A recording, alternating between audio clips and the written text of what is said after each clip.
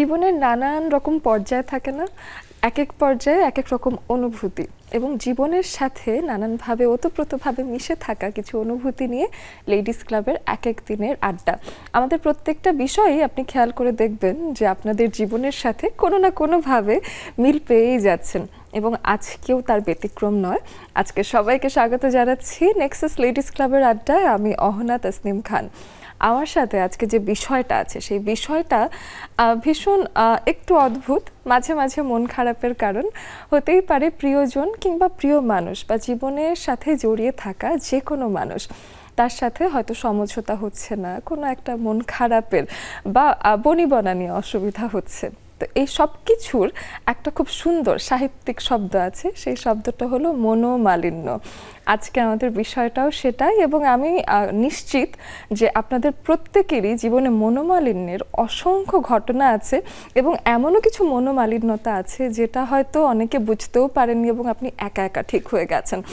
সব রকম গল্পগুলোই শুনব। আমরা ডেকেছি তিনজন বন্ধুকে আমাদের সাথে আড্ডা দেওয়ার জন্য। চলুন পরিচয় করিয়ে দিই। শুরুতেই আমাদের সাথে আছেন সাইমা মিলু। তিনি উদ্যোক্তা এবং ট্রেনার সাইমা মিলুস কিচেন, তার উদ্যোগের নাম। তার পাশে আছেন জান্নাতুল ফেরদোস হাপি তিনিও একজন উদ্যোক্তা তার উদ্যোগের নাম হলো নুকি সব বিডি। এবং তার পাশে আছেন শর্মিলা তুষি তিনিও একজন উদ্যোক্তা। তার উদ্যোগের নামটাও সুন্দর সুতলি। খুব সুন্দর তিনজন তিন জায়গা থেকে এসেছেন এবং তিন ধরনের ব্যবসার সাথে যুক্ত আছেন। আপু আবার ট্রেনার হিসেবেও আছেন। আমি একটু জানতে চাই যে লেডিস ক্লাবে এসে কেমন লাগছে? আসসালামু আলাইকুম। আমি খুব আনন্দিত। আমার খুব ইচ্ছা ছিল এখানে আসার। তো আজকে আমার একটা ইচ্ছা পূরণ হলো। বা এই ইচ্ছাটা যখন হচ্ছিল কেন হচ্ছিল? লেডিস ক্লাবের কোন বিষয়টা আপনার ভালো লাগে? এখানে যার যার মতামতগুলো একটু বলতে পারছে আড্ডা হচ্ছে এবং অল লেডি লেডিজ মানে হোয়াটস নট টু লাইক মেয়েরা যেখানে এসে যায় সেখানেই মনে হয় যেন বেশ একটা সুন্দর আড্ডা শুরু হয়ে যায়। শুনে একটু হ্যাপি আপুর কাছে। হ্যাপি লাগছে এসে? হ্যাঁ আলহামদুলিল্লাহ ভালো লাগছে। ধন্যবাদ লেডিস ক্লাবকে ধন্যবাদ আপনাকে। আমাদের মতো নারী উদ্যোক্তাদের সরাসরি কথা মনের ভাব প্রকাশ করার সুযোগ দেওয়ার জন্য। কারণ কাজের ব্যস্ততা এমন অবস্থা হয় কাজ সংসার সব কিছু নিয়ে মনের ভাবটা আর প্রকাশ করার জায়গা পাই না। তো এরকম আড্ডা মাঝে মাঝে হলে খুব ভালো হয়। একদমই তাই এবং অনেক সময় দেখা যায় কি, অনেক সময় এমন একটা কথা এসেই যায় যে টেলিভিশন নাকি শুধুমাত্র যারা খুব নামি দামি তারকা আছেন তাদের জন্য কিন্তু আমার কাছে মনে হয় কি আপনারা, আমাদের জন্য তার থেকেও বড় অনেক তারকা। কারণ আপনাদের জীবনে আরও অনেক সুন্দর সুন্দর স্টোরি আছে যেগুলো আসলে আমরা মানুষের কাছে ফুটিয়ে তুলতে পারি। আমি একটু তুষি আপুর কাছে এসে শুনি, আপু কেমন লাগছে? শুভ সন্ধ্যা। আসলে খুব ভালো লাগছে, অনেক ভালো লাগছে। অনেক দিনের স্বপ্ন বলতে গেলে। আছি অনেক দিন ধরে লেডিস ক্লাবের সঙ্গে আছি, কিন্তু এভাবে আসতে পারব এটা মানে ভাবিনি। আমরা খুব খুশি এই কারণে যে লেডিস ক্লাব আপনাদের মনে এতখানি জায়গা করে নিয়েছে যে সেই জায়গাটাকে আপনি স্বপ্ন বলে আমাদেরকে এত সুন্দর একটা জায়গা দিচ্ছেন, একটা সম্মাননা দিচ্ছেন যে এখানে আসতে পেরে আপনার এত ভালো লাগছে। আপনাদের তিনজনকে পেয়ে আমি ভীষণ খুশি। শুনব যে আজকে আপনাদের গল্প আগে। আমি একটু মিলাপুর কাছে জানতে চাই যে এই যে ট্রেনার হিসেবে কবে থেকে আছেন এবং ট্রেনিংয়ের প্রতি এই ফ্যাসিনেশনটা কোথা থেকে? আসলে মূলত আমি ট্রেনার প্রথমে ছিলাম না। প্রথমে আমি কাজটা শিখেছি। কি ধরনের কাজের ট্রেনার সেটা নিয়ে শুরু করি? আমি ফুড নিয়েই আর কি আচ্ছা। কাজটা শিখাচ্ছি। আমি বেকিং এর উপরে শিখাচ্ছি। বেকিং কুকিং দুইটাই। বাহ এটা শুনলে আমার ভালো লাগে কারণ আমার মনে হয় যে এই যে একটুখানি দূরত্ব আপনার আর আমার যে আমি যে কোনো সময় বেকিং শিখে যেতে পারি। আমি অনেক চেষ্টা করছি কেক বানানোর প্রতিদিনই মাঝে মাঝে চেষ্টা করি। বেশিরভাগ দিন বিফল হচ্ছি কিন্তু আপনাদেরকে দেখে আমি আশাবাদী যে একদিন আমি কেক বানাতে পারব।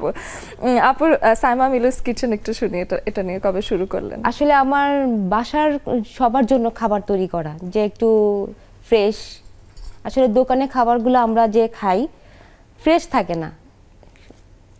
একদমই তাই। হ্যাঁ তো অনেক কিছুই দেখি তো সেখান থেকে আমার বাচ্চার উপরে আসলে যে আমার বাচ্চাটাকে একটু ফ্রেশ খাবার খাওয়াবো। তো সেই মতো আর কি কাজটা শুরু করি বাচ্চাকে মূলত খাওয়ানোর জন্যই। তো বাসার সবাই আমাকে খুব অ্যাপ্রিসিয়েট করে যে না আপনার খাবারগুলো আসলে খুব ভালো লাগে। তো অনেকেই আমাকে মানে ইয়া করে যে আপু আপনার কাছ থেকে খাবারটা নিতে চাচ্ছি। আসলে প্রথমে সেলিং দিয়ে আমার শুরু হয় পরে আমি এই কাজটাকে আবার ট্রেনার হিসেবে নিয়ে নিই। বাহ বেশ বেশ সুন্দর। আমি আরও শুনব অবশ্যই। হ্যাপি আপুর কাছে এসে নুকি সব বিডি নিয়ে একটু শুনি। নুকি সব বিডির যাত্রা শুরু দুই হাজার বিশ সালে। হঠাৎ করে ঘরে বসে থাকা কিছু করছি না। মাত্র পড়াশোনা শেষ করেছি আমি এআইবি থেকে ইকোনমিক্স অনার্স কমপ্লিট করেছি তো বাহ। শ্বশুরবাড়ি গাজীপুর চলে গেছি সেখানে। তো কিছু একটা করতে হবে মানে মানে বসুয়ে বসে ঘুমাবো ওইটা আসলে লাইফ লিড করাটা পসিবল ছিল না। তো সেখান থেকে টুকটুক করে শুরু করা উইতে আমি যুক্ত হইলাম উইয়ের মাধ্যমে। তো যুক্ত হওয়ার পর দেখলাম যে প্রথম আমি শুরু করি হচ্ছে ঘি নিয়ে আমার বাবার বাড়ি পাবনা সেখানকার ঘি নিয়ে। তো ওখানে না শান্তি পাচ্ছিলাম না নিজস্বতা কিছু ছিল না। যে আপু যেরকম নিজে কেক তৈরি করছে নিজস্বতা আছে আমার নিজস্বতা হ্যাঁ। ছিল না ঘিটা আমি নিয়ে আসতেছে। সো চিন্তা করলাম এমন একটা কিছু করা দরকার মানে আমি চাই একটু ডিফারেন্ট কিছু যে কেউ কিছু কেউ করেনি সেই জিনিসটা কারও কাছে নেই আমার কাছে থাকবে মানুষ আমাকে চিনবে এরকম কিছু। আচ্ছা। ওইখান থেকে আমি আমার নিজস্ব নকশায় জামদানি তৈরি করা শুরু করলাম টাঙ্গাইলে। যেহেতু নারায়ণগঞ্জ একটু এক্সপেন্সিভ এবং হচ্ছে ওটা পানি ওয়াশ করা যায় না সেইখান থেকে আমি জামদানি টু পিস তৈরি করা শুরু করি থ্রি পিস তৈরি করা শুরু করলাম টাঙ্গাইল থেকে। আচ্ছা। তো ডিজাইনটা সুন্দর আমি কোয়ালিটি মেনটেন করলাম সব কিছু মিলে আলহামদুলিল্লাহ আমি একুশ সাল থেকে যখন জামদানি তৈরি করলাম ভালো। তারপর আমার কাস্টমারদের রিকোয়েস্টে আমি একই নকশায় পাঞ্জাবি তৈরি করলাম। কিন্তু মজার বিষয় আমি যখন পাঞ্জাবি তৈরি করেছি আমি তখন জানতাম না যে বাংলাদেশে একই নকশায় কেউ জামদানি কাপড় সেট তৈরি করেনি। আচ্ছা। তো আমি যখন তৈরি করলাম তৈরি করার পর মার্কেটিং করার পর আমি দেখি যে না জিনিসটা আসলে খুব ডিফারেন্ট হয়ে গেল। আমি যতটা আশা করেছি আলহামদুলিল্লাহ তার থেকেও ভালো। সো আমি বাংলাদেশে প্রথম একই নকশায় মানে নকশাটা চেঞ্জ দেয় গলার নকশা দুইটাই সেম একই তাতে একই নকশায় জামদানি কাপড় সেট তৈরি করলাম। তো সেইটা প্রায় দেড় বছর ধরে আলহামদুলিল্লাহ ভালো একটা সাফল্যতার পর এখন আমি বাংলাদেশে প্রথম তন্তুস টু পিস তৈরি করছি। তন্তুস তন্তু। এখন কিন্তু তন্তুস একটা ট্রেন্ড হ্যাঁ, চলছে তন্তুস হ্যাঁ। কিন্তু খুব সুন্দর। তো বাংলাদেশে তন্তুস হচ্ছে কিন্তু তন্তুস টু পিসটা খুব ডিফারেন্ট সবাই তো শাড়ি পরতে পছন্দ করে না। সো এখান থেকে তন্তুস টু পিস তৈরি করলাম। আর রিসেন্টলি আমি তৈরি করেছি তন্তুস শাড়ি যেটা আমি এখন পরে আছি। আচ্ছা এটা আমি আমার নিজেও এটা ভাবছিলাম যে আপনি যেটা পরে আছেন সেটাও মনে হচ্ছে যে আপনার হ্যাঁ, ডিজাইন আমার করা নিজস্ব নকশায় নিজস্ব তাতে কেঁদে তৈরি। আর আমার কাছে যা আছে বাংলাদেশ আমার একার পণ্য। এটাই সবচেয়ে শান্তি। একদম ডিফারেন্ট চমৎকার কিছু। চমৎকার। আমি এই সম্পর্কে আরও শুনব। অবশ্যই এখন একটু তুষি আপুর কাছে এসে শুনি। আপুর কাছে এসে শুনি, আপুর উদ্যোগটা সম্পর্কে। সুতলি, খুব চেনা একটা নাম আমার কাছে। আমি নিজে আপনার পণ্য ক্রয় করেছি এবং সেই জন্যই আমি শুনতে চাই এটা সম্পর্কে। কবে শুরু করলেন? এটা মূলত আপুর সাথে একটু আমি একমত। হ্যাঁ হ্যাপি আপুর সাথে। আমিও দু সালের দিকের ঘটনা। তখন হচ্ছে কোভিডের সময় কোভিডের সময় ঘরে বসেছিলাম। তার আগে একটু বলতে চাই আমি একটা মানে প্রাইভেট ফার্মে জব করতাম। তো আমার বাবু হওয়ার পর ওটা আমাকে ছেড়ে দিতে হয় কারণ বাচ্চার ব্যাপার এই হ্যাঁ। জন্য। দেখাশোনার জন্য আমি ওটা মা হিসেবে না এটা এমন একটা জিনিস আমি একটু অ্যাডও করি এখানে আর সেটা হলো যে অন্য কেউ হয়তো আমাদেরকে বলে না যে ছেড়ে দাও।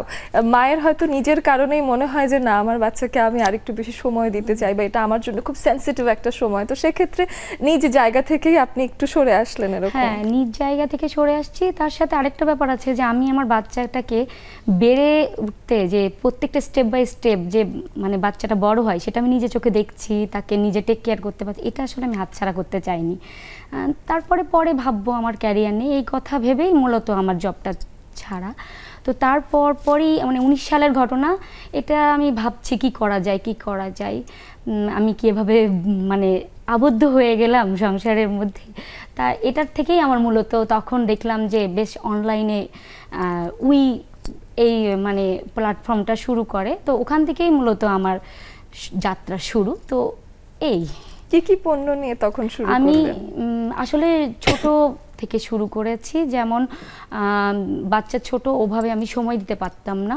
তো আমি দেশীয় পণ্যটা বেশি ইউজ করি দেশীয় শাড়ি তাঁত তারপর হচ্ছে হাফ সিল্ক মণিপুরি এগুলো। বাহ চমৎকার। মিলো আপুর কাছে এসে আজকের বিষয় একটু যদি চলে আসি মনোমালিন্যের বিষয়টা মনোমালিন্য মানে আপনার কাছে কি আগে সেটা বুঝি। মনোমালিন্য হচ্ছে আমাদের সাথে আমরা পরিবারেই পরিবারের কথাটাই বলি পরিবার থেকেই কিন্তু প্রথমে বিষয়টা শুরু হয়। তো পরিবারে হ্যাঁ। একসাথে যদি থাকা হয় সেটা হাজবেন্ডের সাথে হোক জয়েন্ট ফ্যামিলি হোক যেটাই হোক এখান থেকেই কিন্তু মূলত শুরুটা হয়। হ্যাঁ এবং মনোমালিন্য তো সবার সাথেই হয়েই যায়। দেখা কম যায় বেশি সবার সাথেই হয় হ্যাঁ, সব পরিবারেই হয়। সেটাকে আবার আমরা ওভারকাম করে চলে আসতে পারি। মনোমালিন্য ছাড়া যেন মজাও নেই এরকম মানে। যেখানে মনোমালিন্য সেখানে ভালোবাসাটাও বেশি। হ্যাঁ। এটা আসলে ওই যে এক্সপেকটেশন যেখানে বেশি যাদের কাছ থেকে আমরা আশা করি বেশি তাদের উপর রাগও হয় বেশি অভিমানও তাদের উপরেই বেশি হয়। তো অনেকে মনে করতে পারে যে এত ঝগড়া কেন এত ঝগড়া? আহ, কিন্তু আসলে ওই জায়গাটা আমাদের ডিপেন্ড করার জায়গাটা অতখানি বেশি নির্ভরতার জায়গা। এবং কষ্ট পাওয়ার জায়গাটা বেশি। আমি একটু এবার হ্যাপি আপুর কাছে এসে জানতে চাই যে হ্যাপি মানুষটা কখনো কি স্যাড হয়? মনোমালিন্য কখনো ঘাটায় কিনা আপনাকে? আমার ব্যাপারটা হচ্ছে মনো আমার ব্যাপারটা অরিজিনাল মনোমালিন্য। কারণ একটুতেই মন খারাপ আবার একটুতেই খুশি। এটাকে আমার মনে হয় মনোমালিন্য বলে বড় ধরনের আচ্ছা। কিছু না।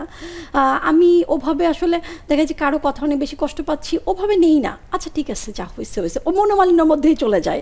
দিন শেষে সারাদিন কাজকর্ম করছি কারও কথা একটু কষ্ট করলাম ওইটাই একটু মন খারাপ হলে একটু পর ঠিক হয়ে গেল। আমার কাছে ওইটাই মনে হয় মনোমালিন্য যেটা হচ্ছে বেশিক্ষণ স্থায়ী হয় না। এটা ফ্যামিলির সাথে হয় কাস্টমারদের সাথে হয় বিজনেস করতে গেলে হয়। যেমন আমি ওই প্ল্যাটফর্মে আসি সেখানে আমি গাজীপুরের প্রতিনিধি আমি। তো সেখানে আমার গাজীপুর মেয়েরা অনেক অনেক অনেকের সাথেই সবার সাথে টুকটাক হয়ে থাকে। এটা আসলে দিনের মধ্যে কতবার হচ্ছে আর কতবার ঠিক হচ্ছে এটা আসলে বলা যায় না। মেয়ের সাথেও হয়। হ্যাঁ। সবার সাথে এটা হচ্ছে। মেয়ের সাথে তো মনে হয় একটু বেশিই হয়। কারণ হলো মেয়ে হলো আমাদেরই নিজের ছোট একটা ভার্সন মনে হয় মেয়ের বেশি হয় আমাদের চাইতে তার আরও বেশি হয় হ্যাঁ। সব কিছুতেই যে খুব জলদি জলদি ইদানিংকার বাচ্চারা আসলে এত স্মার্ট হয়ে গেছে যে খুব চট জলদি ওদের মন খারাপ হয় এবং খুব তাড়াতাড়ি ওরা পিক করতে পারে যে কেন আমাকে ভুল কিছু বলা হলো এই জিনিসটা। আমি একটু হ্যাঁ, তুষি আপুর কাছে আসি। তুষি আপুর কাছে এসে শুনতে চাই যে এই মনোমালিন্যের বিষয়টা জীবনের সাথে কীভাবে জড়িয়ে আছে? মনে মনোমালিন্য তো সব মানে এমনভাবে জড়িয়ে আছে যে ওটা অবিচ্ছেদ্য অংশ। মানে প্রতিটা দিন ছোটোখাটো ফ্যামিলি বন্ধু বান্ধব ভাই বোন আবার এমনকি আমার ছোট বাচ্চা ওর সঙ্গেও হয় হ্যাঁ। এরকম। সব ওটা মনে হয় ওটার জন্যই মনে হয় ভালোবাসাটা একটু দৃঢ় হয় বা বাচ্চার সাথে যে মনোমালিন্য হয়েছে এটার একটা ঘটনা আমি শুনতে চাই। বাচ্চার সঙ্গে আমার একটু বেশি অন্যরকম সম্পর্ক কারণ ও দেখ মানে এমন অবস্থা ওকে কোনো কিছু না দিতে চাইলে ও খুব অভিমান করে বা ওকে কোনো কিছু ঘুরতে নিয়ে যেতে চাইছি বা আজকে যে আসছি ও প্রচণ্ড মন খারাপ মানে ওকে ছাড়া আজকেই প্রথম আমি বাইরে। এটা তাহলে আপনার জন্য একসাথে একটা মিশ্র অনুভূতি তাই না? হ্যাঁ যে হ্যাঁ একে ভালো লাগছে। না ওর মনটা এমন ভাবে মলিন করে রাখে যে দেখলে মনে হয় যে আমি ওকে ছাড়া না না না মনে হয় না যাই। এরকম আসলে ঘটনা আমাদের প্রত্যেকের জীবনে এমন একটা মানুষ আছে এমন একটা ছোট্ট মানুষ হোক বা যে কোনো একটা মানুষই হোক না কেন যে যার মুখটা দেখলেই বুঝে যায় যে সে কি চাচ্ছে এবং তার জন্য মনে হয় সবকিছু স্যাক্রিফাইস করে ফেলা যায়।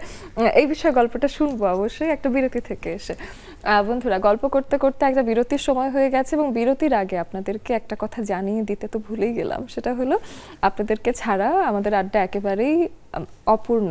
অবশ্যই চাই আপনারা সব রকম মনোমালিন্য ভুলে আমাদের সাথে এসে আড্ডা দেবেন এবং আমাদের স্ক্রিনে দেখানো জুমের আইডি, পাসওয়ার্ড ফলো করে চলে আসবেন। নিয়ে নিচ্ছি ছোট্ট একটা বিরতি।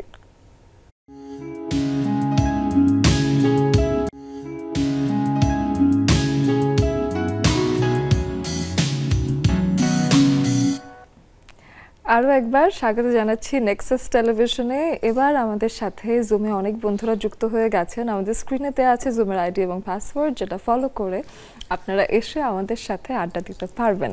আমাদের সাথে জুমে এসে গেছেন আমাদের শাহিদা আপু। এদিকে আর কে কে আছেন একটু দেখি। হাই শাহিদা আপু। তারপরে আমাদের সাথে আছে কে? আফসানা রশিদ আছেন এবং আছেন আমাদের সাথে মুক্তি আপু।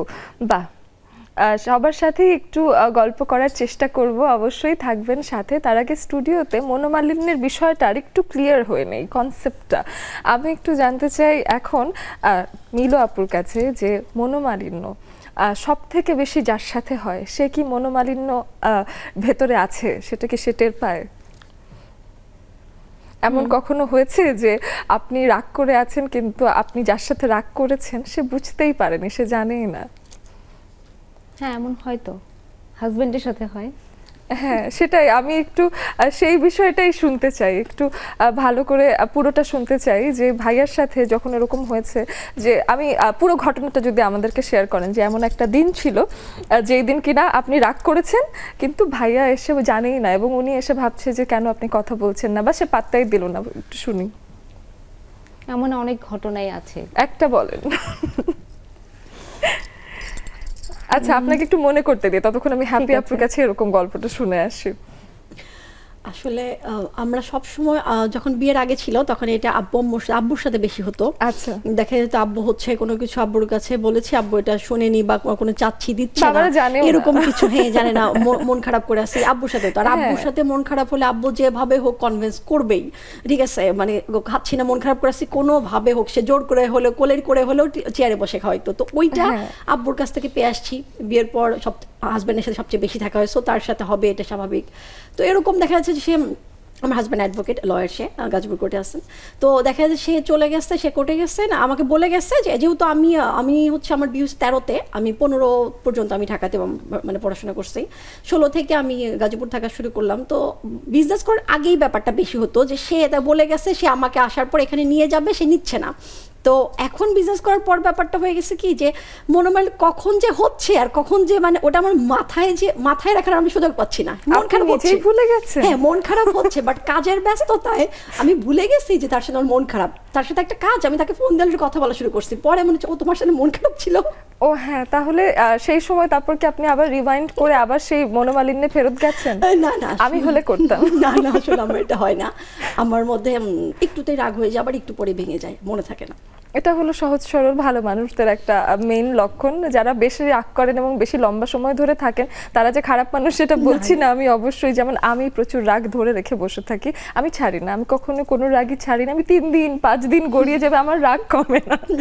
এটা আমার সাথে প্রচুর হয়। আমার ঝামেলা কম হয়। আর এইটা হলে দেখবেন কি আপনার মাথার মধ্যে ওটা কাজ করতেছে অন্য কোনো কাজে মন দিতে পারতেছেন না। আমার যখন ব্যাপারটা হ্যাঁ। হয়েছে কারোর সাথে আমি রাগ করব আমার অনেকখানি সময় নষ্ট হবে। রাগ করলে আমার কাজের ডিস্টার্ব হবে। হয়, হ্যাঁ। আমি কাজে মন দিতে পারব না। সো এনি আমার রাগটা মিটাইতে হবে নাহলে আমি কাজ করতে পারব না। তো আমার তো বিজনেস চালাইতে হবে সংসার চালাইতে হবে মেয়েকে চালাইতে হবে।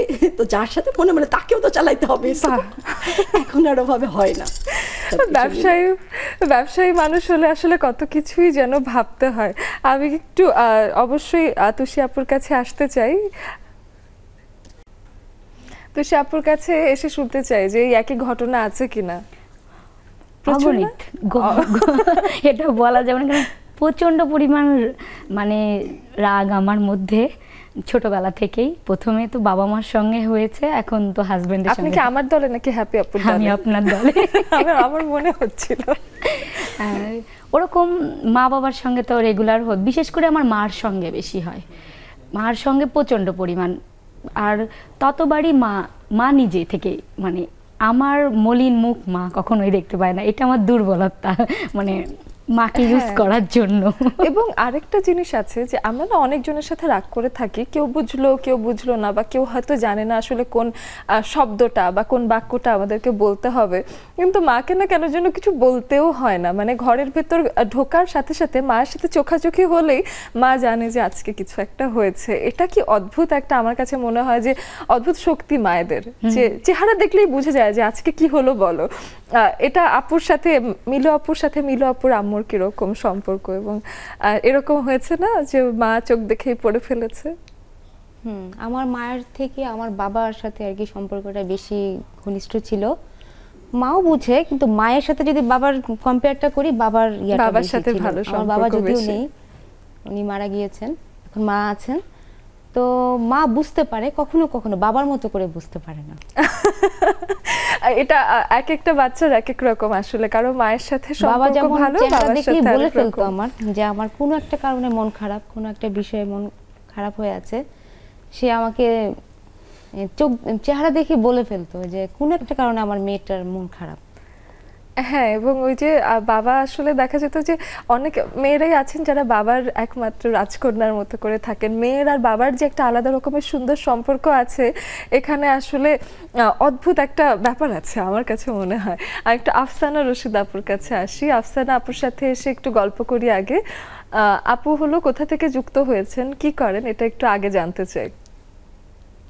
আসসালামু আলাইকুম, শুভ সন্ধ্যা। আমি আফসানা রশিদ আমি খুলনা থেকে যুক্ত হয়েছি। আপনি খুলনা থেকে যুক্ত হয়েছেন এবং আমার কাছে আপনি বলতেই হবে মানে এটা আমি না বলে পারছিই না যে আপনি কি সুন্দর একটা চাদর পরেছেন দেখেই আমার ভালো লাগছে। এটা- আমার করা থ্রি পিস তারই না আর কি। ও এটা ও এটা আপনার ওর না বাহ সুন্দর। এবং খুলনা থেকে ঠান্ডা পড়েছে হালকা করে নাকি পড়েনি না এখনও তেমন পড়েনি। হালকা তো একটু আছে আবহাওয়া পরিবর্তন এই আর কি। আপুর উদ্যোগের নামটাও শুনি যেখানে এত সুন্দর সুন্দর কাপড় আপনি তৈরি করছেন। আমি আসলে উনিশশো তিরানব্বই সাল থেকে শুরু করেছি। আমার মূলত হলো প্রশিক্ষণ প্রথমে ছিল আমার প্রশিক্ষণ দেওয়া বিভিন্ন বিষয়ের উপর ক্ষুদ্র ক্ষুদ্র নারী উদ্যোক্তাদের বিভিন্ন বিষয়ে প্রশিক্ষণ দেওয়া সে থেকে আমার ব্যবসায় আসা। আফসানা আপু নেটওয়ার্ক একটু অসুবিধা করছে? আচ্ছা আচ্ছা নেটওয়ার্ক একটু সমস্যা করছে। আপনি একটু কেটে আসার চেষ্টা করবেন ভালো নেটওয়ার্কে আসার চেষ্টা করবেন। এখন মনে হচ্ছে ঠিক আছে আবার একটু চেষ্টা করেন তো শুনি। জি আমি মূলত যে ট্রেনিং করাতাম বিভিন্ন বিষয়ের উপরে fashion designing tailoring blog batik beautification বিভিন্ন বিষয়ের উপরে। তা প্রশিক্ষণ করাতে করাতে যেটা আমি বুঝতে পারলাম যে যারা প্রশিক্ষণ নিচ্ছে তারা চায় যে কিছু করবে। ওই তাদের সেই চাওয়াটাকে সামনে নিয়ে আপনারা আসলে পথ চলা। তখন থেকে আমি মানে বিজনেসের দিকে আগায় আসি। একটা শোরুমও নেই খুলনাতে সুন্দরবন কলেজের কাছে। আমার যারা প্রশিক্ষণার্থী ছিল তাদের উৎপাদিত পণ্য দিয়ে আমি আমার শোরুমটা চালাতাম। এইভাবে আমার পথ চলা। এভাবে চলতে চলতে দুই হাজার বারো সালে আমি অ্যাওয়ার্ড পাই জাতীয় পুরস্কার। এবং আমাদের এখনকার সময়ে দেখা যায় যে অনেকেই নতুনভাবে উদ্যোক্তা হয়েছেন এবং আপনি সেই পুরন সময়ের উদ্যোক্তা এবং এখন এসে দু বারো এবং প্রশিক্ষকও হয়ে গেছেন। এটাই মানে এটা খুবই রিমার্কেবল যে যে সময়টা আসলে এই ঘটনাটা এত প্রচলিত ছিল না। হয়তো সাপোর্টটাও এত বেশি ছিল না। এবং সেই হ্যাঁ, সময় থেকে আপনি এটাকে এত দূর টেনে আনতে পেরেছেন। কোনো রকম এত সোশ্যাল মিডিয়া সাপোর্ট বা এখন যে কোনো কিছু হলেই সব কিছু ভাইরাল হয়ে যায় এই সময়টা আপনি পাননি। তারপরও সেই সময় থেকে একটা লম্বা ব্যবসা আপনি করতে পেরেছেন। অনেক স্ট্রাগল করতে হয়েছে আমাকে। তা বটে এটা আমরা আসলে কল্পনাও করতে পারি না। আপু অনেক শুভকামনা আপনার জন্য এবং আপনি আমাদের সাথে যুক্তি হয়ে যুক্ত হয়েছেন এটার জন্য আপনাকে ধন্যবাদ। আপনি থাকবেন মাঝে মাঝে। কারণ আমার মনে হয় যে অনেক নতুন উদ্যোক্তা যারা আছেন তাদের আসলে এরকম একটা মানুষ দরকার যার কাছ থেকে আমরা কিছু জানতে পারব ব্যবসাতে লেগে থাকার জন্য এবং ধৈর্যটা ধরে থাকার জন্য আরও অনেক কিছু আছে জানার। থাকবেন। মুক্তি আপুর কাছে আসি। মুক্তি আপু কোথা থেকে যুক্ত হয়েছেন একটু শুনি এবং আপুর বিষয় একটু জানি। মুক্তি আপু আনমিউট করবেন। জি। আসসালামু আলাইকুম। কেমন আছেন আপনি? আমি খুবই খুবই ভালো আছি। শোনা আপনার কথাগুলো এত ভালো লাগে যার কারণে যুক্ত হয়ে যাই। অনেক অনেক ধন্যবাদ। হ্যাঁ আপু? বগুড়া থেকে আচ্ছা। ওনার নারীমেলা বুটিক হাউস বাহ নারী মেলা বুটিক হাউস খুব সুন্দর একটা কাজের জায়গা। আমি একটু আপনার কাছে মনোমালিন্য সম্পর্কে জানতে চাই। কাজের জায়গা শুনব। আজকে আগে শুনি যে মনোমালিন্য কার সাথে সবচেয়ে বেশি হয়? মনোমালিন্য মানে বাবা মার ঘর থেকে আসার পর থেকে যার সাথে আসছি সংসারে তার সাথেই বেশি হয়। আহ, তাহলে তখন আসলে আমি একটু জানতে চাই যে এই মনোমালিন্যের সময় ভাইয়াকে এটা বুঝতে পারে এবং ভাইয়াকে সরি ফিল করেন?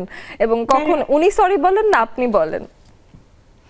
না উনি হচ্ছে যে খুব শান্ত প্রকৃতির মানুষ আর আমি তার অপোজিট কিন্তু উনি সব সময় আমি কিছু বললে উনি কখনোই সেটার অ্যান্সার করে না। পরে সেটা বলে যে এটা এরকম হয়েছিল। আমি বুঝতে পারছি যে আপনার কেন মনোমালিন্য হবে কারণ ঝগড়া করার সময় একজন চুপ থাকলে আহ, শান্তি লাগে না। মনে হয় যে আমি ঝগড়া করছি তুমি করছ না। কেন? আচ্ছা। হ্যাঁ আরও বেশি রাগ হয়ে যায়। হ্যাঁ। আর সেই গল্পটা শুনব, আপু, এসে আপনি থাকবেন। আপনার সাথে একটু কথা বললাম, আবার এসে শুনব। এরই মধ্যে আমাদের সাথে সোনিয়া আপু, হাসিনা আপু সুরাই আপু চলে এসেছে। শাহিদা আপুর সাথে কথা হয়নি। একটা বিরতি থেকে এসে গল্প করব। কানিস নামে এক বন্ধু যুক্ত হয়েছেন যিনি ভিডিও অন করেননি।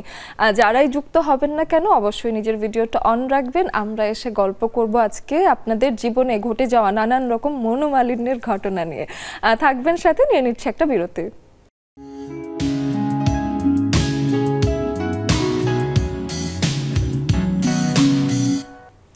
ছোট্ট একটা বিরতির পর আরও একবার স্বাগত জানাচ্ছি নেক্সাস লেডিস ক্লাবে আপনারা আমাদের এই আয়োজন সরাসরি সম্প্রচারিত হতে দেখছেন। আপনার টেলিভিশনে তো বটেই। এটার সাথে আপনারা আমাদেরকে দেখে ফেলবেন আপনাদের ফেসবুকে W W W dot Facebook dot com slash Nexus BD TV এটা হলো আমাদের ফেসবুক পেজের লিঙ্ক যেটা আপনি যদি লিখে ফেলেন, আপনি আমাদের পেজটাও পেয়ে যাবেন। সেখানে আমাদের এই আয়োজনটা সরাসরি সম্প্রচারিত হতেও দেখে ফেলবেন। এটা ছাড়াও এই আয়োজনটা আপনারা খুঁজে পেতে পারেন ইউটিউবে। ইউটিউবের লিঙ্কটাও আমি বলে দিচ্ছি। YouTube dot com slash Nexus television BD. এটা হলো আমাদের ইউটিউবের লিঙ্ক। এবং সাথে আপনারা আমাদেরকে যদি খুঁজে পেতে চান ইনস্টাগ্রামে, আমাদের ছোটো ছোটো আপডেট পেতে সেখানেও চলে যেতে পারেন। সার্চ বক্সে গিয়ে লিখবেন নেক্সাস আন্ডারস্কোর টেলিভিশন। এটা হলো ইনস্টাগ্রামের লিঙ্ক। এটা ছাড়া আমাদের ওয়েবসাইটে যে কোনো সময় চলে আসতে পারেন এবং এটা ছাড়াও আপনারা আমাদের গ্রুপে যুক্ত হয়ে যেতে পারেন। সেটা Facebook group group slash Nexus ladies club আর সেখানে আছে বাইশ হাজারেরও অধিক নারীরা যারা প্রকাশ করছেন নিজেকে, নানান আঙ্গিকে, নানানভাবে এবং নিজের ব্যবসার প্রচারণা বলেন আর নিজের শখ আহ্লাদের জায়গাটা শেয়ার করা বলেন সব কিছুই তারা সেখানে করছেন। আমি একটু এসে এবার তুষি আপুর কাছেই আগে শুনতে চাই যে ছোটবেলায় আব্বা আম্মার সাথে তখন রাগ হতো। এরকম ছোটবেলার কোনো মেমরি মনে আছে যে মা কিছু একটা কিনে দেয়নি বা বাবা কিছু একটা কিনে দেয়নি এবং আপনি খুব মন খারাপ করেছেন এবং বাবা মা আপনাকে মানাতেই পারছে না? এরকম কিছু আছে? আছে তবে যেটা আবদার করতাম মানে খুব বেশি কিছু আবার আমার চাহিদা ছিল না। চাহিদার মধ্যে সীমিত ছিল। তো ততটুকু ওটা নিয়ে সমস্যা হয়নি। সমস্যা হয়েছে যেগুলা সেগুলো হলো খুব সীমিত সীমিত বিষয় নিয়ে। এগুলো নিয়ে হয়েছে তো অতটা হয়নি। সীমিত কোনগুলো? একটু শুনি একটা দুটো। সীমিত বলতে যে এই সাধারণত কিছু কেনাকাটা যে না আমাকে এটা কিনে দিতেই হবে ওটা কিনে দিতে হবে। তবে একটা জিনিসের কথা আমার মনে পড়ে তখন মোবাইলটা আমি যখন বলছি তখন মাত্র মোবাইলটা আসছে খুব বেশি সময় না। আমি বলছি এটা টু থাউজেন্ডের কথা। তখন ওরকম আমার খুব এটা ইচ্ছা হয়েছে কিন্তু তখনকার মা বাবা একটু রেস্ট্রিক্টেড ছিল যে এত অল্প বয়সে মোবাইল না এগুলো নিয়ে একটু অনেক ইয়ে হয়েছে তো না এটা দেওয়া যাবে না তুমি অনার্সে ওঠো ইন্টারটা শেষ করো তারপরে গা এরকম তারপর কি আসলেই আপনি অনার্সে বা ইন্টার শেষ করে ফোন পেয়েছিলেন হ্যাঁ নাকি তার অনার্সে পেয়েছি। ও আচ্ছা তাহলে সে আসলেই ভালো ধৈর্য ধরেছে কিন্তু হ্যাপি আপুর জীবনে প্রথম ফোন কবে পেলেন? আমার জীবনে প্রথম ফোন পেলাম দুই হাজার নয় হ্যাঁ নয়? আমি ইন্টারমিডিয়েট তখন সেকেন্ড ইয়ার তখন। আচ্ছা। তার আগে আম্মুর ফোনটা আম্মু হচ্ছে দু হাজার আমার এসএসসি পরীক্ষা বলে আম্মুকে ফোন কিনে দেওয়া হয়নি। আমার এসএসসি পরীক্ষা শেষ হলো তারপর আম্মুকে ফোন কিনে দিল। আম্মুটা টুকটাক ইউজ করতাম কিন্তু পার্সোনালি দু নয় থেকে তখন দেওয়া হলো। আচ্ছা আমার আবার মনে হয় যে আমি মনে হয় সবার আগে ফোন পেয়ে গেছি। আমি মনে হয় ক্লাস এইটে বা সেভেনে থাকতে I had a phone because আমার আব্বা, আম্মা দুজনই অফিসে থাকবেন। তা আমাকে যদি নিতে আসে, তো কীভাবে আমি কমিউনিকেট করব? তো সেই জন্য আমার একটা ফোন ছিল যেটা স্কুলে পারমিশন নেওয়া ছিল এবং তারপর ওটা দিয়ে আমি স্কুল শেষ হলে সবাইকে ফোন দিতাম যে আমাকে এসে নিয়ে যাওয়া বা এখান থেকে নাও। এই কাজটার জন্য। আমি একটু আমি এবার মিলু আপুর কাছে এসে শুনতে চাই। ওই যে ভাইয়ার সাথে গল্পটা তো শুনলামই না সেটা আগে শুনি। যে ভাইয়া কোন কথাটা বুঝতেই পারে না একটু শুনি। আসলে আমার এখন কিছুই মনে পড়ছে না যেটা সত্যি কথা। আচ্ছা ঠিক আছে। আমি একটু জানতে চাই যে ভাইয়া শান্ত নাকি আপনি বেশি শান্ত? ভাইয়া শান্ত। আর আপনি খুবই রাগী। হ্যাঁ। এটা আমার কেন যেন মনে হচ্ছিল যে আমি আমাদের খুবই রাগী সে খুবই শান্ত প্রকৃতির মানুষ। সে ছয় মাসে একবার মনে হয় একটু তার রাগ হয় কিন্তু সেই রাগটা খুব ভয়ঙ্কর। আচ্ছা। তখন আমি নিজেই ভয় পেয়ে যাই। আহা। তখন আমি আবার চুপ থেকে যাই। হ্যাঁ এই ব্যালেন্সটা খুব দরকারি না হ্যাঁ এই ব্যালেন্সটা না হলে একই ছাদের নিচে আসলে থাকাটা পসিবল হয় না। হয়ে যে- ওঠে। যে ভাইয়া জানেই আপনি সবসময় রাগে কিন্তু যে হ্যাঁ। সময় ভাইয়াও রাগ করছে আমি রাগ করলে সে আবার বুঝতে পারে আমি রাগ করলে সে বুঝতে পারে সেও সবসময় একটু চুপ থাকে।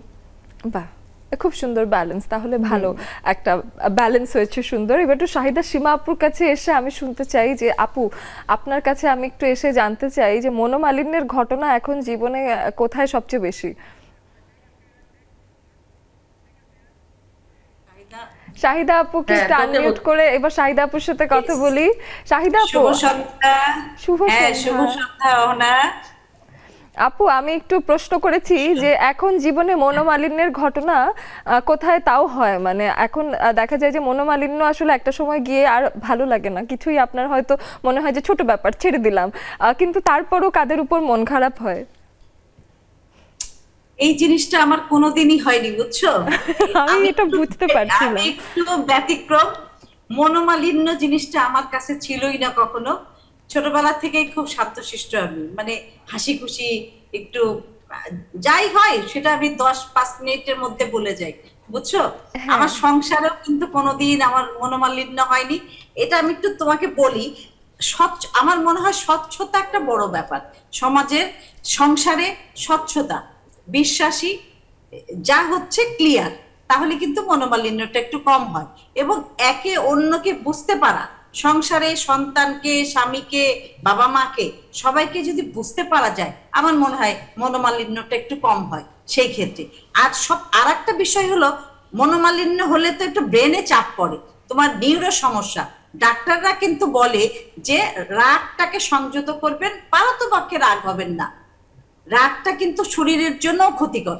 তাহলে আমরা মনোমালিন্যটা যাতে না করি নিজেকে স্বচ্ছ রাখি অন্যকে বোঝার চেষ্টা করি তাহলে কিন্তু মনোমালিন্যটা হবে না হনা আপুর কাছ থেকে শিখলাম তাহলে। আমাকে আসলে তাহলে রাগ কমানোর বিষয়টা একটা ট্রেনিং করা যাবে। একদিন এই বিষয়ে আমরা একটা আয়োজনও করে ফেলব যে রাগ কমানোর উপায়।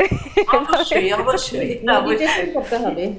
এটা বেশ ভালো হবে। মুক্তি আপুর কাছে একটু গল্প শোনা বাকি রেখে গিয়েছিলাম। মুক্তি আপু আপনার কাছে একটু গল্প শুনে যাই তারপরে এসে আরেকজনের সাথে কথা বলব। আপু রাগ কমানোর একটা বড় উপায় হচ্ছে মেডিটেশন করা। বাহ। আমারও এরকম একটু বেশি রাগ জিদও বেশি। আর জিদটা হচ্ছে আমি কাজে লাগাই বেশিরভাগ হচ্ছে যে ভালো কোনো কাজে। আর, যে আমি জিদ করে আমি এটা করবই। এবং সেখানে আমি সাকসেসও হই। আলহামদুলিল্লাহ। বাহ বাহ। মানে এটা আসলে পুরোটাই খারাপ না আসলে তাই না? মানে রাগ বা জিদ থাকা আমি মনে করি যে মাঝে মাঝে এটা ভালো কাজ করে। এটার একটা একটু বলি আমি যখন হচ্ছে যে আমার মেয়েকে মেডিকেলে ভর্তি করে দেই তখন আমি ডিএমএসএস এর ট্রেনিং এ ভর্তি হই। এবং এরপরে আমি শোরুম দিই। আমাদের ফ্যামিলিতে আমার মেয়েকে সহ নয় জন ডাক্তার।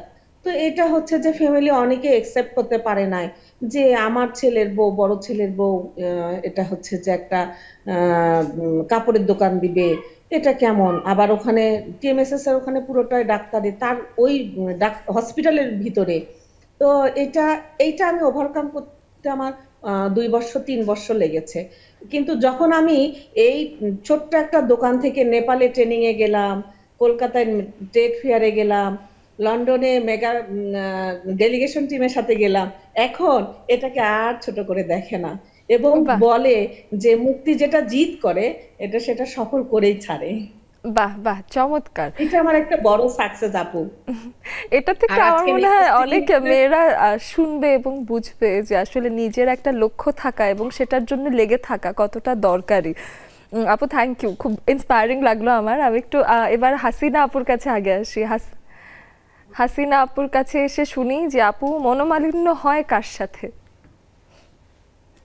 আসসালামু আলাইকুম আপু শুভ সন্ধ্যা সবাইকে অনেক ধন্যবাদ। আগের মলমানিন্যরা আসলে মার সাথে বেশি হইতো যে একটা আপু বলল না মা আমাকে অনেক কম বুঝতে পারে আমার সাথে মার মিলে না। যুক্তিযুক্ত তর্ক বা যে কোনো বিষয়ে আমার আব্বা হচ্ছে আমাকে অনেক ভালো বোঝে আব্বার সাথে আমার খুব মিলে যে কোনো বিষয়ে অনেক সহজে বুঝতে পারে। আর হচ্ছে এখন তো হচ্ছে সব মনীষার বাবার সাথে। মনীষার বাবার সাথেই হয় মনোমালিন্য কিন্তু আমি হচ্ছে মনে রাখি একটু কিছুক্ষণ হইল। কিন্তু উনি হচ্ছে করতেছে পাঁচ মিনিট পরেই ভুলে যায়। আমি বলি এই মনে আছে কি বলছিলে একটু আগে? এরকম ঝগড়া লাগলে সবাই বলে।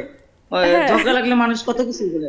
আমি তো আর বলতে পারি না। আমি বলতেছি না ঝগড়া লাগলে এমন কথা কেন বলব যেটা হচ্ছে মানুষের ইগনোর করা হবে ছোট করা হবে বা তাকে ইনসাল্ট করা হলো?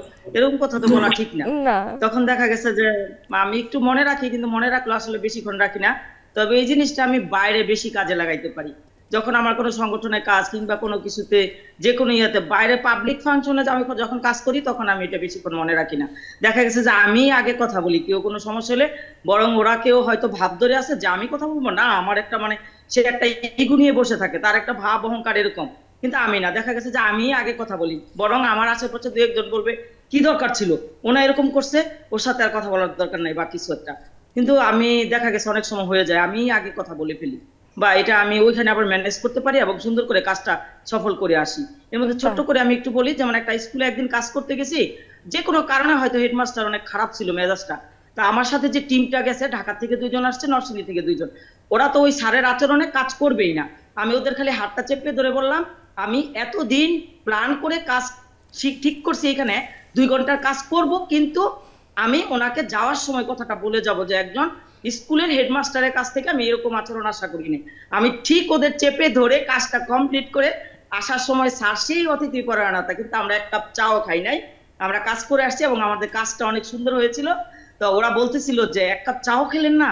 সারাদিনের মধ্যে আপনারা দুই ঘণ্টা এই অফিস থেকে ছুটি নিয়ে এসে কাজ করে গেলেন। কিন্তু আমরা কিন্তু মনের ওই রাগে কিন্তু কষ্টে কিন্তু কেউ চা খাইনি হ্যাঁ, আমি আসার আমরা রাগ সময় খাব না। যে, "থাও, আমাদের একটা চা খাওয়ার জন্য আমাদের সাথে আচরণটা সবচেয়ে জরুরি ছিল।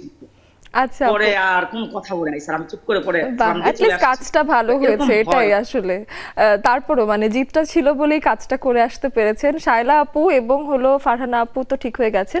শায়লা আপু হলো ক্যামেরাটা একটু সোজা করবেন আহ, সবার মতো করে। আহ, আলা আড়াআড়ি করে এই যে এভাবে এভাবে। শায়লা আপু এভাবে ফোনটাকে রাখবেন বাকিদের সাথে মিল রেখে এবং নাসিমা আপুর কাছে চলে যাই। নাসিমা আপু আপনার কাছে এসে একটু শুনতে চাই যে মাঝে মাঝে মানুষের উপর মন খারাপ হয় না? এটা হয় যে ভালোবাসলে মন খারাপের জায়গাটা এসেই যায়। তো সেই বিষয়ে কোনো গল্প থাকলে একটু শুনি। শুভ সন্ধ্যা আপু। শুভ সন্ধ্যা। বিষয়টা খুবই চমৎকার। মনোমালিন্য হবে যে বলে যে নাই আমি কেন জানি বিশ্বাস করি না। আমার সাথে হয়। হয়। আমার সাথে হ্যাঁ। হয়। তুই বলছি।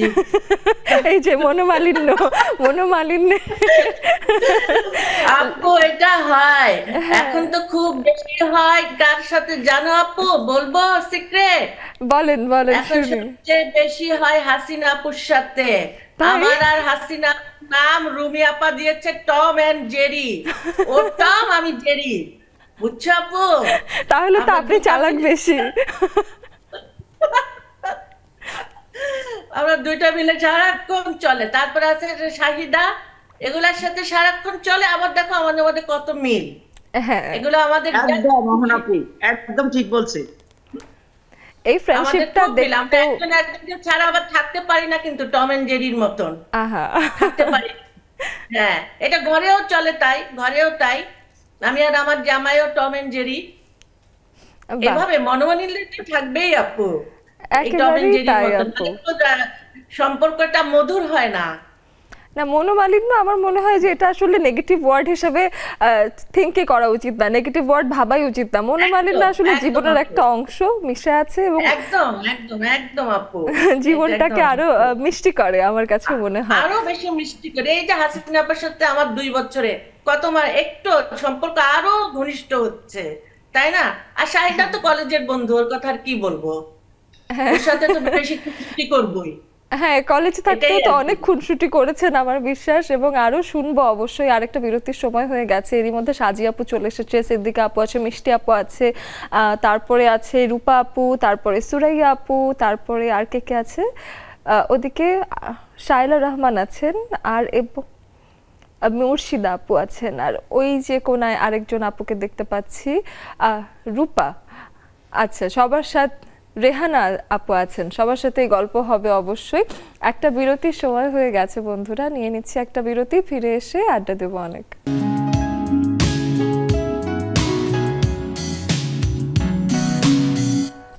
Welcome back once again to Nexus television আমাদের সাথে জুমাও অনেক বন্ধুরা যুক্ত হয়ে আছেন এবং আমাদের সাথে যুক্ত হয়ে যাবার খুব সহজ আর সুন্দর একটা পন্থা হলো জুমের মাধ্যমে যুক্ত হয়ে যাওয়া। আমাদের স্ক্রিনে দেওয়া আছে জুমের আইডি এবং পাসওয়ার্ড যেটা ফলো করে আপনারা এসে আমাদের সাথে আড্ডা দিতে পারবেন। আমি একটু হ্যাপি আপুর কাছে এসে জানতে চাই যে কাজের সূত্রে দেখা যায় যে অনেকজনের সাথেই ডিল করতে হয় ক্লায়েন্টের সাথে ডিল করতে হয়। ক্লায়েন্টের সাথে সবচেয়ে বেশি মনোমালিন্য হওয়ার কথা। কারণ এই মানুষরা টেক্সটিং এ কথা বলছে আপনার সাথে। আপনি কোন টোনে বলছেন বোঝা যাচ্ছে না। ওনারা কি টোনে বলছে বোঝা যাচ্ছে না। মাঝে মাঝে প্রোডাক্ট নিয়ে নানান রকম আলাপ হয় একটা ঘটনা শুনি। আমার বিষয়টা যেটা হয় সবচেয়ে বেশি সেটা হচ্ছে আমার নিজস্ব তাঁত চলে। সো আমার তাতে একদিনে একটা পণ্য তৈরি হয় একদিনে একটা থ্রি পিস তৈরি হয়। তো দেখা যায় মাঝে মাঝে এত বেশি চাপ যায়, তো একটা কাস্টমাররা কি করে? যখন যে কালার যে চাচ্ছে, কেন যেন ওই কালার উপরে সবাই একদম লেগে পড়ছে। তৈরি করে শেষ করতে পারছি না, তাদেরকে বোঝাতে পারছি না যে, আপু, আমার চাইলেও আমি বেশি তৈরি করতে পারছি না, একদিন এক পিস তৈরি হয়, আমার একটা তাতে।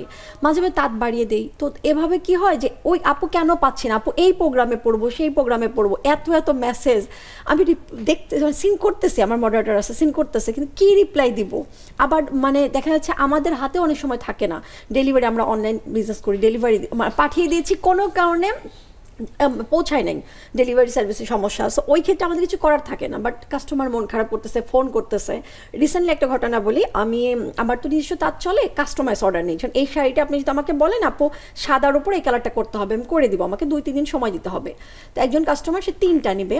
তো দুইটা আমি অলরেডি তৈরি করছি সেটা। আরেকটা সে তার কাস্টমাইজ আমাকে ডিজাইন অর্ডার দিয়েছে যে অরেঞ্জের উপর রানী গোলাপ করে দিতে হবে। এইটা আমি তৈরি করি নাই।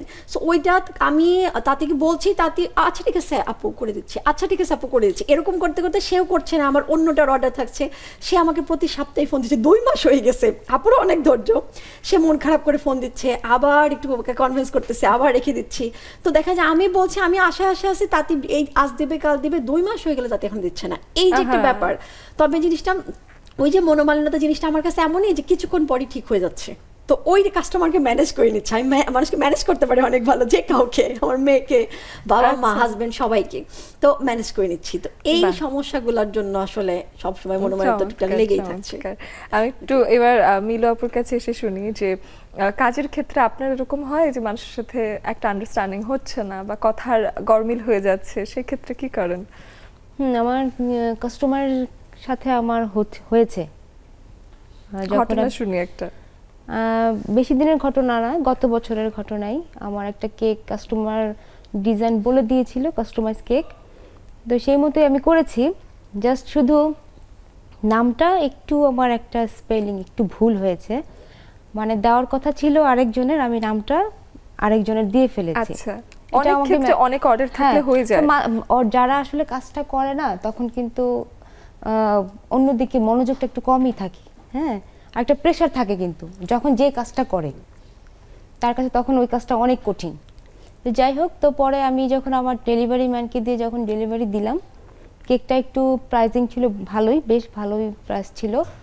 তো পাঠানোর পরে পরে সে আমাকে কল দিল যে কাস্টমার যাপো আমার নামটা কি ঠিকঠাক মতো লিখেছেন? তাও আমি বলছি হ্যাঁ নাম তো এটা হবে। তখন আমি ফোনের মধ্যে বলেছিলাম। তখন উনি বলল আপু আমি তো এই নাম বলি নাই। আচ্ছা। তো যাই হোক তো আমাকে বলতেছে আপু আমাকে তো সারপ্রাইজ দিব আপনি নামটা অবশ্যই ঠিক করে দেন। তো আমি আসলে তখন অলরেডি ডেলিভারি ম্যান চলে গেছে মাঝপথে। আমার বাসা হচ্ছে রায়েরবাগ আর আমি ডেলিভারি দিয়েছি এটা ওয়ারিতে আচ্ছা। তো যাই হোক তো অলরেডি চলে তো আমি আবার কি করলাম? আমি আবার ওকে ফোন দিলাম। এটা কিন্তু একটা কেক আর তখন প্রচণ্ড গরম ছিল। আর কেকটা আমার বাটার ক্রিমের ছিল। হ্যাঁ তো বাটার তো গরমে খুব তাড়াতাড়ি গলে যায়। তো যাই হোক, ওই ডেলিভারি ম্যান বলতেছে, আমি ফোন ধরছে, ও ফোন ধরতেছে রানিং তো। ফোনটা ধরবে কীভাবে? যাই হোক, অনেক পথে চলে যাওয়ার পরে ফোনটা ধরলো। ধরার পরে আমি বললাম যে, তুমি একটু ব্যাক করো। নামটা আমার ভুল হয়ে গেছে, একটু চেঞ্জ করে দিতে হবে। আমি আবার ওই কাস্টমারকে বলছি, আপু, আপনি একটু ম্যানেজ করে নেন। কারণ এটা তো কেক আবার আনতে আনতে এটা একটা দুর্ঘটনা ঘটেও যেতে পারে। কিন্তু হয়েছে বিষয়টা আসলে। যাই হোক, ও বলতেছিল যে, আপু এটা কিন্তু এখন আনলে কেকটা কিন্তু আর ভালো থাকবে না, আমি আবার নিয়ে যেতে পারব না। কারণ আপনি ফ্রিজিং করতে পারবেন না তো। তো যাই হোক, ও আসছে ঠিকই, আমি আর কাস্টমারকে ওটা বলে ম্যানেজ করতে পারি না ও বলতেছে, আমাকে নামটা ঠিক করে দিতেই হবে। হ্যাঁ।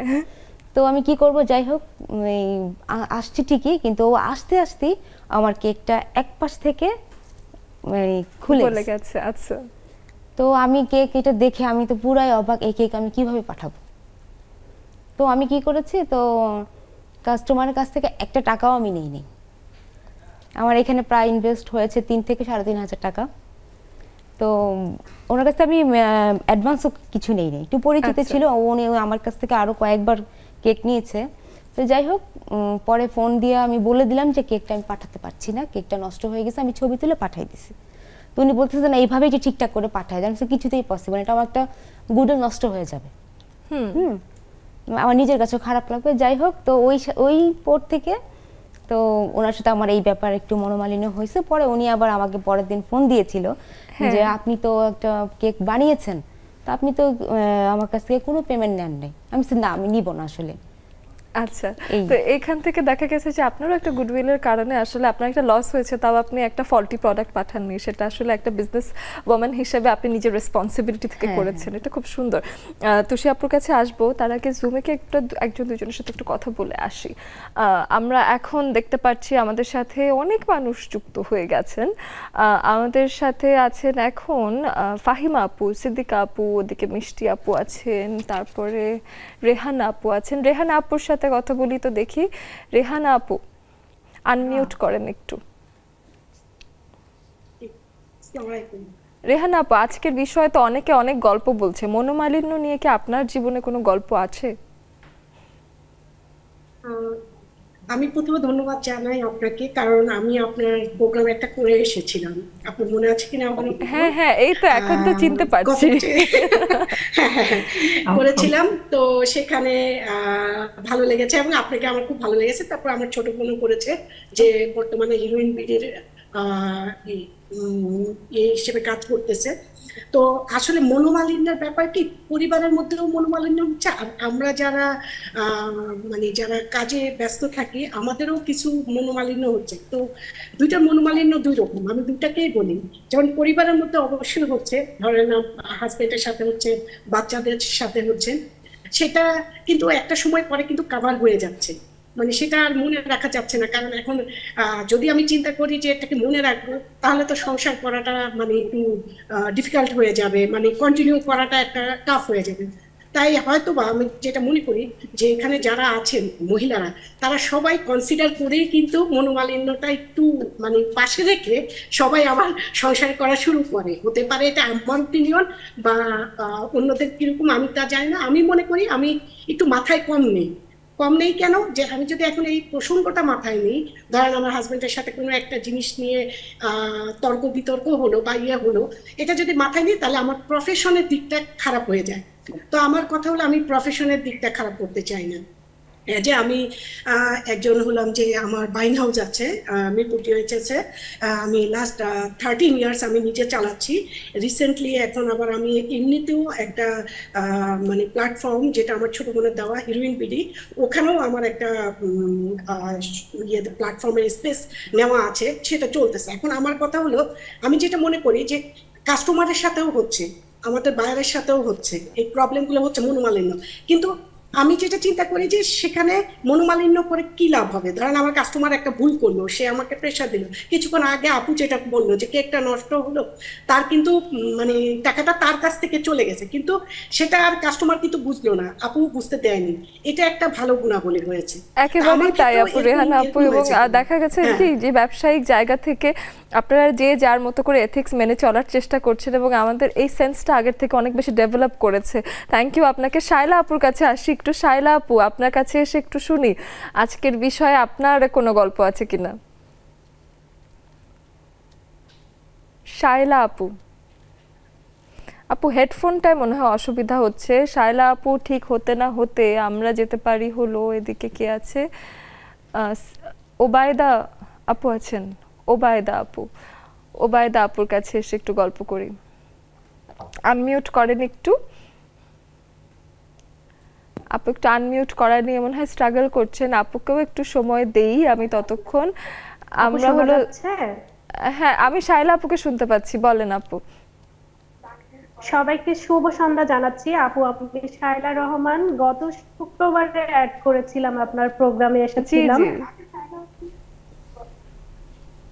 আপনার টেলিভিশনটা মিউট করে শুক্রবারে দেন। এসেছিলাম আপনার প্রোগ্রামে এখন চেনা যাচ্ছে মাঝে মাঝে জুমের লাইটিং এর কারণে অনেক সময় যে চেনা যায় না। আবার আমি চোখের সামনে মানুষটাকে দেখেছি একরকম। দেন হলো যেটা হয় যে যখন জুমে আচ্ছা। যান আপনাদের উইন্ডোটা অনেক ছোট হয়ে যায়। তো ওই ছোট হয়ে যাওয়ার কারণে মাঝে মাঝে আমার এক্স্যাক্টলি।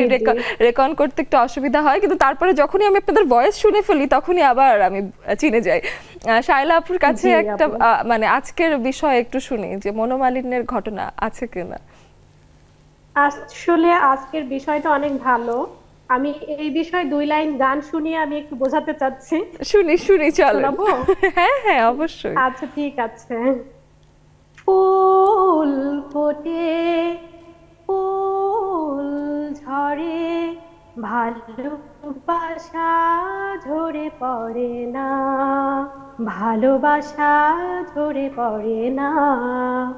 আমি আসলে বোঝাতে চাচ্ছি যে ভালোবাসা থাকলে মনোমালিন্য থাকবেই। হ্যাঁ ফুল ফুটবে ফুল ঝরেও যাবে কিন্তু ভালোবাসা থেকেই যাবে বুঝতে পেরেছি। বাহ সুন্দর সুন্দর। বেশ ভালো একটা অর্থবহ গান আজকের সাথে মিলাতে পেরেছেন। শুনব আরও গল্প করব সবার সাথে। আরেকটা বিরতির সময় তো হয়ে গেছে বন্ধুরা। নিয়ে নিই চটজলদি একটা বিরতি ফিরে এসে আরও অনেক আড্ডা হবে আমাদের সঙ্গেই থাকুন। রাজু ছোট্ট একটা বিরতির পরে আরও একবার স্বাগত জানাচ্ছি নেক্সাস টেলিভিশনের আড্ডায় যেটা হলো লেডিস ক্লাবের আড্ডা। মজার একটা আড্ডা হয় সবসময়ই জানেন। তো শিয়াপুর একটা উদ্যোগ আছে সুতলি সেখানে প্রতিনিয়তই অনেক কেনাকাটা হচ্ছে অনেক জিনিসপত্র আছে। আমি একটু জানতে চাই যে ক্লায়েন্টের সাথে আন্ডারস্ট্যান্ডিংটা এটা সবসময়ই ঠিক থাকে নাকি মাঝে মাঝে একটু পাল্টা হয়ে যায়? হয় মাঝে মাঝে মাঝেই ঝামেলা হয়। তবে একটা কথা বলতে পারি আমার একটা গত বছরের ঘটনা সেটা হচ্ছে দু ডিসেম্বরে ষোলোই ডিসেম্বরে কাস্টমার পড়বে বলে একটা জুয়েলারি ছিল। সেটা দেওয়ার কথা ছিল তো ওটা প্যাকেজিং ঠিকঠাক করছি বক্স করছি। এখন সামহাও ডেলিভারি ম্যানের কাছ থেকে হতে পারে বা কি কীভাবে হয়েছে আমি বলতে পারব না। উনি খোলার পর খুলে দেখে সব এলোমেলো। আচ্ছা। এবং হাতে সময় দুদিন আছে। এখন ওটা ব্যাক করলে উনি আর পাবে না। তো উনি মানে প্রথমত একটু মানে বেশ একটু রাগ রাগ হয়েছে বুঝতে পারছে হ্যাঁ। হ্যাঁ। তারপরে উনি বুঝতে পারল যে এটা আমার কোনো ফল্ট ছিল না এটা ডেলিভারি হতে পারে, হ্যাঁ। তারপরে থেকে আরও সতর্ক ওটা রিটার্ন বললাম যে আপনি ওটা রিটার্ন করে দেন। যেহেতু ওটা নিয়ে আপনি কি করবেন? ওটা তো সব এলোমেলো হয়ে গেছে। তারপর আবার ওটা পাঠালো কিন্তু একটা কষ্টটা ছিল যে উনি ওটা পড়তে পারেনি।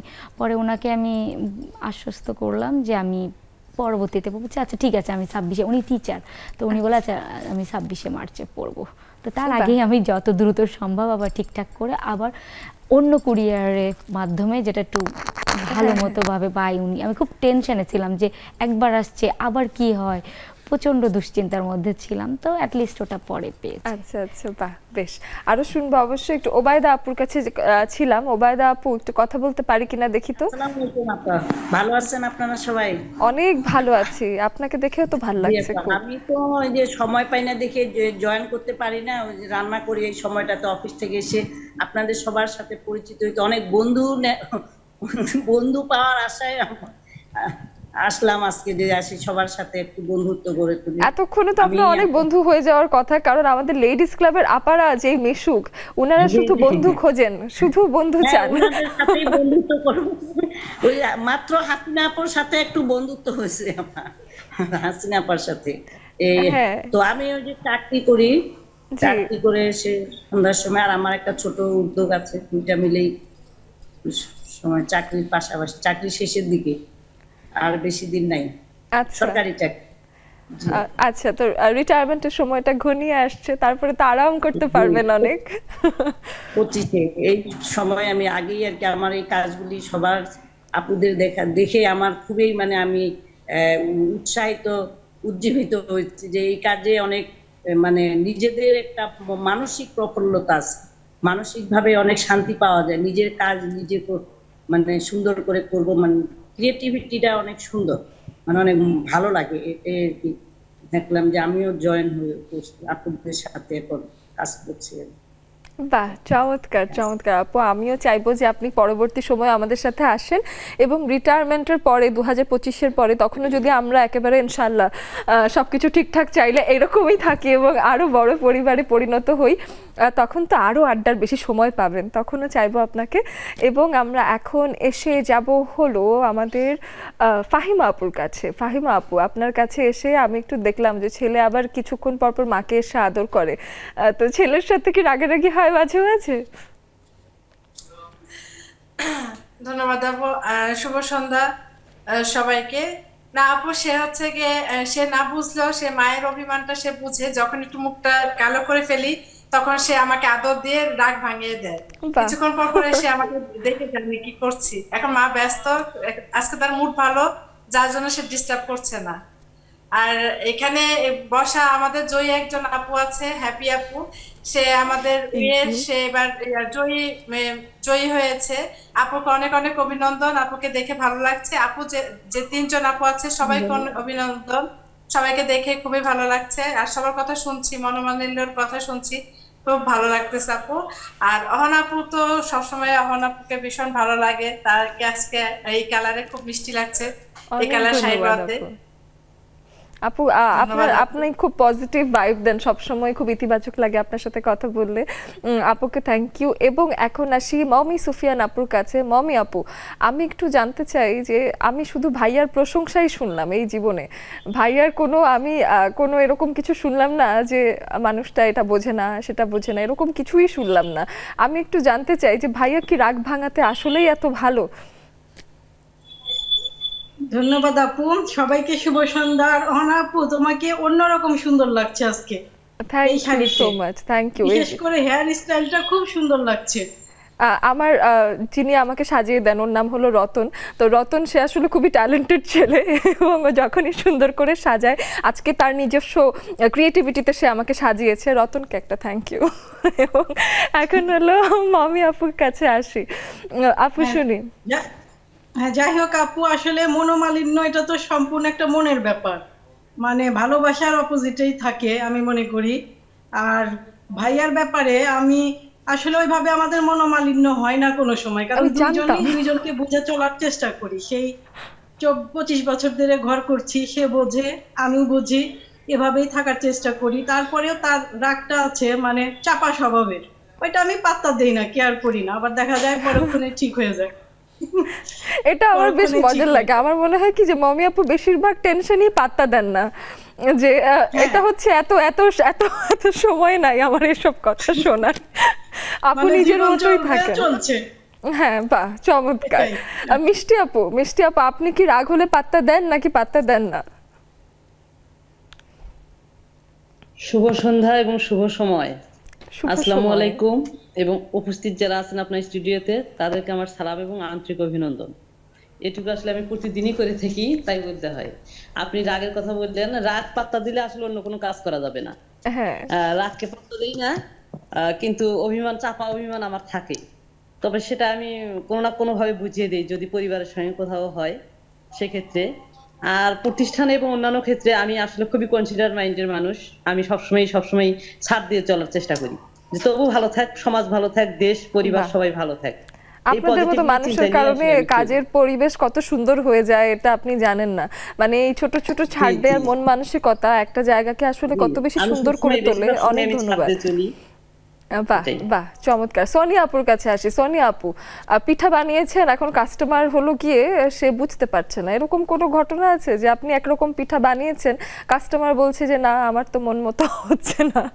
এরকম তো হওয়ার কথা না যদিও তার হাতের পিঠা আমি খেয়েছি ভীষণ মজার। এই ঘটনা রেয়ার অহনা তোমার চুল হেয়ার স্টাইলটা অনেক ভালো লাগছে। আমি অনেক আগে বলতে চেয়েছিলাম মমিয়া সুফিয়ান আপু বলে ফেলছে। হ্যাঁ আমি ভাবতেছিলাম যে আমি কখন সময় পাবার বলব যে এত সুন্দর করে হেয়ার স্টাইলটা কে করে দিয়েছে? আপনি তো বলে দিলেন রতন করে দিয়েছে। হ্যাঁ। যাই হোক আমার চার বছরের বিজনেস আমার এমন কোনো ঘটনা ঘটেনি। আর আজকের বিষয়টা অনেক সুন্দর। আমি একটা পোস্ট লিখেছিলাম মনোমালিন্য নিয়ে। মনোমালিন্য তো মানে হয়ে থাকবে সংসার লাইফে বন্ধু বান্ধব সবার সাথে। কিন্তু মনোমালিন্যকে পাত্তা দেওয়া যাবে না। সেটা যদি লং টাইম করা হয় তাহলে কি হয়? দূরত্ব বেড়ে যায়। আমার কাছে এটাই মনে হয়। তাহলে এটাকে মানে ডোন্ট কেয়ার করে চলতে হবে। সবাইকে ভালোবাসতে হবে। সবার সাথে মনোমান্য হবে আবার গলা ধরে চলতে হবে। আমার কাছে এটাই মনে হয়। চমৎকার চমৎকার। এবার একটু সিদ্দিকা আপুর কাছে আসি। সিদ্দিকা আপু মনোমালিন্য নিয়ে আজকে আপনার কাছে কিছু শুনি। আপু শোনা যাচ্ছে? শুনতে পাচ্ছি। আপু শুভ সন্ধ্যা। আমিও বলি যে আপনাকে আসলে খুব সুন্দর লাগছে। আপু মনোমালিন্য ব্যাপারটা আমি সব সময় হলো এটাকে আমি পজিটিভ নেই। আমি যদি এটা নেগেটিভ হিসাবে নেই তাহলে আমার সংসার কিংবা আমার কাজের ক্ষেত্রে কোনোটাই কিন্তু সাবলীল ভাবে চলবে না। আসলে আপুরাই যে জমেরা অনেক আপুরাই বলল আসলে কনসিডার মাইন্ড অর্থাৎ সমঝোতা যদি না থাকে তাহলে কিন্তু সম্পর্কটা কখনো উন্নয়ন হয় না। তো আমি মনে করি মনোমালিন্য থাকবে ভালোবাসার অপোজিট যে ব্যাপারটা সেটা হচ্ছে মনোমালিন্য। ওটা থাকবে কিন্তু সেটাকে অবশ্যই সমঝোতা করে নিতে হবে। আমার পরিবারটাও ভালো থাকবে আমার কাজের ক্ষেত্রটাও ভালো থাকবে এটা আমি মনে করি। বাহ সুন্দর চিন্তা ভাবনা। এখনও সাজি আপুর সাথে গল্প হয়নি সুরাইয়া আপুর সাথে গল্প হয়নি প্রফেসর মাসুমা আপুর সাথে গল্প হয়নি। আহ, ওদিকে আছেন আরও একজন যার নামটা আমি দেখতে পাচ্ছি না অনেক বড় নাম। যিনি নুপুর আপু, এই তো, আমাদের নুপুর আপু, তাই তো, আমি ভাবছি চেনা মানুষের নাম কেন পড়তে পারছি না। জুলি আপু জয়েন করেছেন মাত্র, হোসনার আপু যুক্ত হয়ে গেছেন, এবং ফিরে এসে সিদ্দিকা আপু, যদি সময় থাকে তাহলে আপনার কাছে একটা গান শুনব অবশ্যই, কিন্তু যদি না শোনান তাহলে মনোমালিন্য হয়ে যাওয়ার একটা চান্স আছে, তাই রেডি হয়ে বসে থাকেন, যদি সময় পাই শুনব এসে। একটা বিরতির সময় হয়ে গেছে বন্ধুরা, অবশ্যই থাকবেন সাথে, নিয়ে নিচ্ছি একটা বিরতি।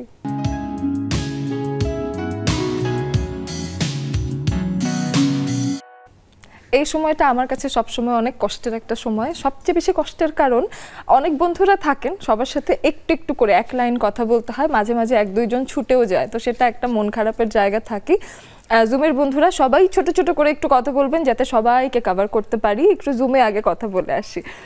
তারপরে এসে আমরা আবার স্টুডিওতে গল্প করব। আমরা জানতে চেয়েছিলাম সুরাইয়া আপুর কাছে একটু যেতে চেয়েছিলাম, আগে একটু আপুর সাথে কথা বলে আসি। সুরাইয়া আপু আমি একটু আনমিউট করে আপনার কাছ থেকে শুনি। আপনি তো বলে বলা শুরু করে দিয়েছেন কিন্তু আনমিউট তো করেননি।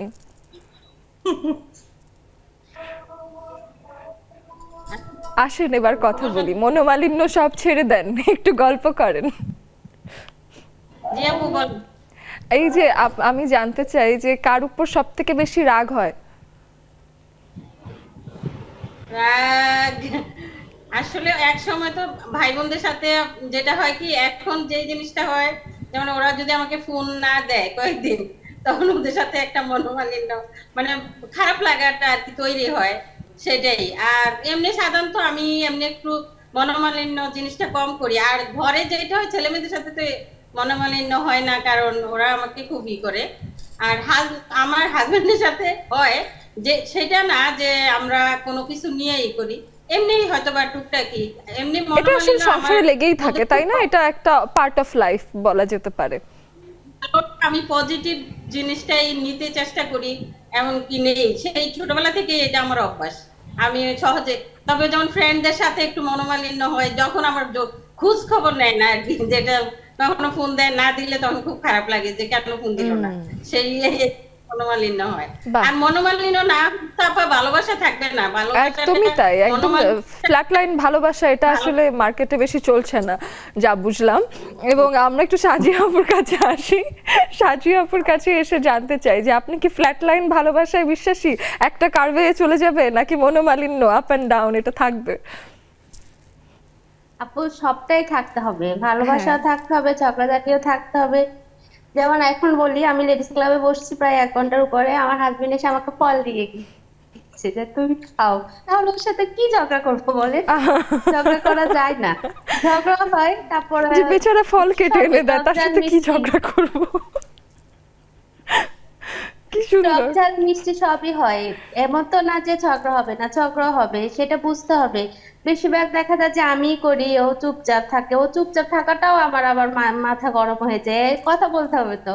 চুপচাপ থাকলে আমি কার সাথে ঝগড়া করব? তাও তো ওই এরকমই আমিও বলি ও মাঝে মধ্যে বলে এভাবে চলতে না ভাইয়াকে দেখে আসলে বোঝা যায় যে ভাইয়া একটু শান্ত প্রকৃতির মানুষ। তো ভাইয়া আসলে বেশি ঝগড়া করতে চাওয়ারও কথা না। আমি একটু প্রফেসর মাসুমা আপুর কাছে বাহ। প্রফেসর মাসুমা আপুর কাছে আসতে চাই। আপু এক লাইনে আপনার মনোমালিন্যের গল্পটা শুনে নিই ছোট্ট করে শুনি। আপু অনেক শুভেচ্ছা আপনাদেরকে সকলকে। আর আপনাকে তো দারুণ লাগছে। থ্যাংক ইউ এরকম সুন্দর হতে খুব ইচ্ছে হয়। আর রেগে গেলেন তো হেরে গেলেন এটা আমি বিশ্বাস করি।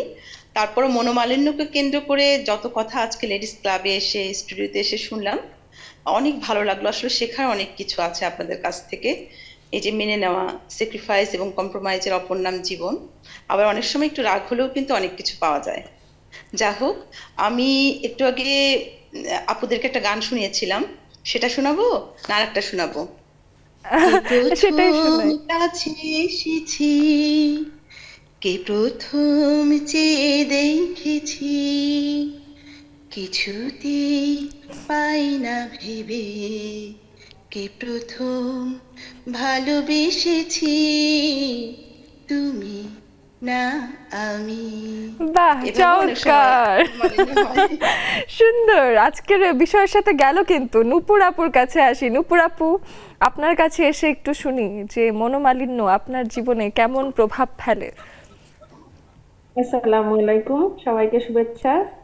অহন আপু অনেক সুন্দর লাগছে। থ্যাংক ইউ এটা সত্যি এমনিতেই সুন্দর লাগে। তারপর মনোমালিন্য হয়। আমার মেয়েদের সাথেও আমার হয়। আমার মেয়েরা বড় ইন্টারমিডিয়েট ফার্স্ট ইয়ার ছোটটা পড়ে বড়টা বিবিএ পড়ে। হয় আর হাজবেন্ডের সাথে তো হয় মাঝে মাঝে। কিন্তু আমিও ওই ওই এক আপু বলতেছিলেন যে কেয়ার করি না। আমি এই জিনিসটা বেশিক্ষণ রাখি না। হয়তো পাঁচ মিনিট সাত মিনিট।